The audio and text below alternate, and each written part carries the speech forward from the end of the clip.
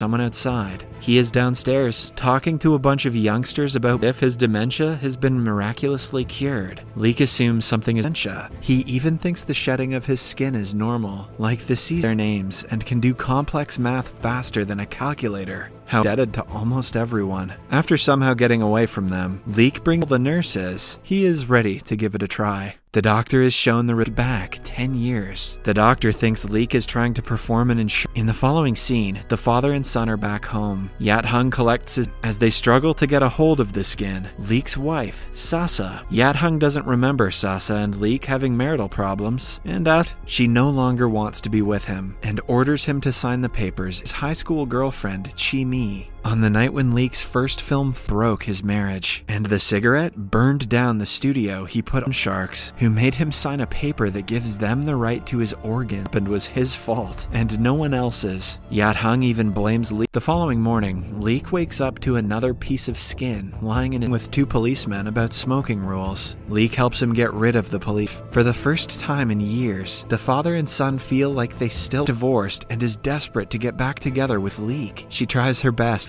but before that, Sasa arrives and finds her husband with the girl treat her, while Sasa calls her the other woman. They are interrupted by self plug. We recapped that too. But the man turns out it was trash. Leek immediately runs outside to get the skin back. Leek has finally realized how important his father has been in his life. Alleyway, Leek hugs the skin as his own father and brings him his father to be. When Yat Hung makes fun of the collection of skin, they get it turns into a fist fight. When Yat Hung openly admits to cheating, weak, and asks him to get out of the house because it is still under his leak to pursue Sasa and bring her back into his life. If he they chain him up and are about to take his organs out. All of a sudden, a 180 and pretends to be a passerby. The gangster asks Yat Hung feels that way. He tries to get off the hook by puzzling the gangsters. His skin tears, revealing the flesh underneath and making the gangster real time. His father stands naked, covered in a slimy subsidy disappeared. Later at night, Leek returns home to see that Illy married to Leek's mother. Yat Hung says that he has to go to Hong Kong to get as he crouches down in a corner.